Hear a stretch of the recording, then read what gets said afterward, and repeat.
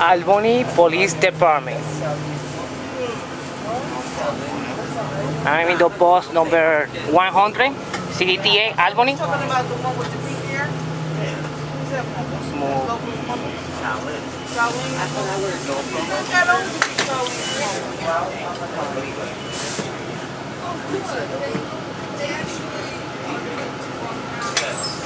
The police department that you, you saw in the video, that's where I made my complaints against Dr. Nishanin 2004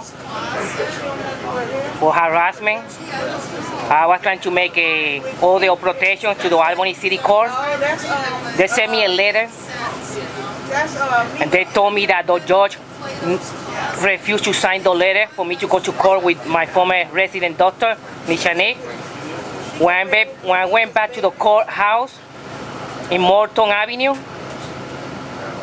the person that worked there told me that the judge never got the letter. He never signed it. So it was a lie from the police department. He never got there the letter. So I went back to the police department. And a few days later, I got the letter. I went to the Albany City Court for order of protection that they said not to me. This tree right here, that's where the Albany City Court go. Right there. Me if I can get it up closer. I'm inside the bus, so it was wait for me.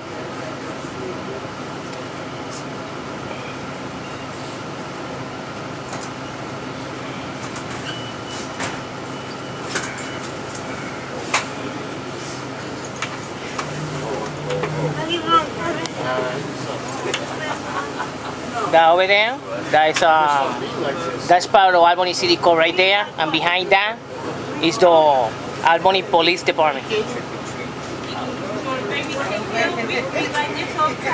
Huh? No, that's okay. How old is it? You was born?